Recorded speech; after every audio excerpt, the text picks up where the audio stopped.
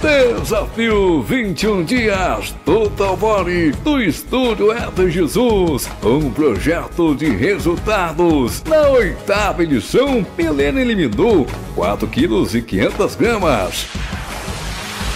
Suelen e Mariana perderam 3 quilos e 200 gramas.